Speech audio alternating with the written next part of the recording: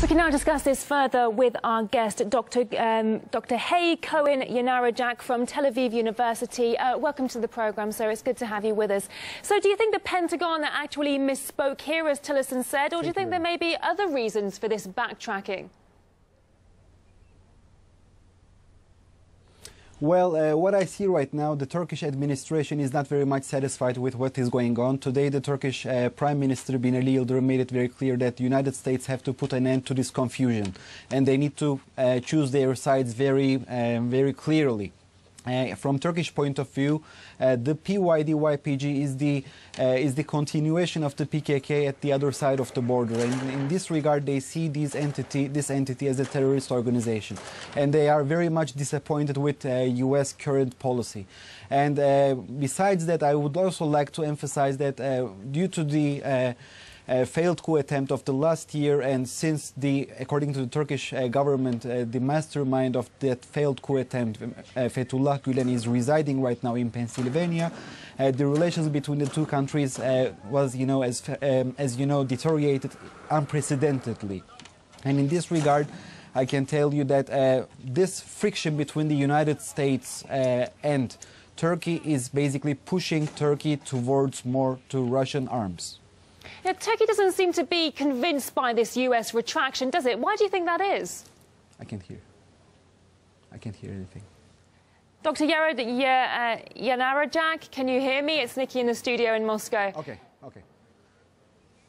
Can you hear now, us? Now I can. Now I can hear you. Please repeat your question if you ever ask. I yeah, will yeah, do. yeah. I please, will do. Please I was. I was asking you why do you think Turkey doesn't seem convinced by this retraction on the U.S. part?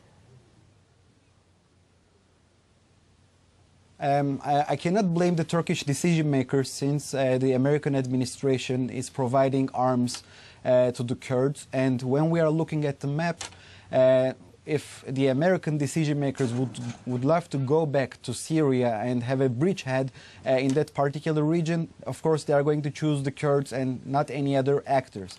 And in this regard, we all know that maybe uh, the US administration right now is trying to lower the tensions, but uh, you know, uh, in the field, what we're going to see is the continuation of the U.S. support uh, for these entities. And the Turkish administration would like to see the end, the end, the clear end of the American support to the Kurdish PYD and YPG, and uh, to basically to redesign.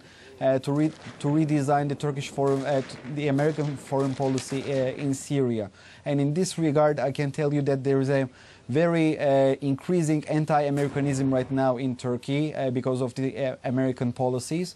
And uh, I guess the American administration is also taking this into account. How far do you think the US would actually go? What kind of risks do you think Washington is willing to take in order to stay in Syria? Can you please repeat your question?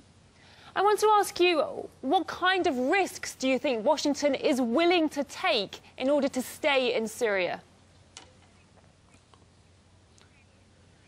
Well, uh, you know, uh, U.S. administration took a very important decision under President Obama, and they left Syria. Now, uh, under Trump, they are trying to get back to Syria thanks to the Kurds, and uh, as, uh, as, far as I can tell you, now uh, the American administration is uh, like dancing on a very tight rope between the Kurds uh, and Turkey. And when they are putting uh, both of the relations to a scale, they, they are coming to the conclusion that uh, the, the Turkish side is, you know, is, can offer a lot more. For instance, in southeast Turkey, we have the Incirlik Air Base where the American Air Forces is residing.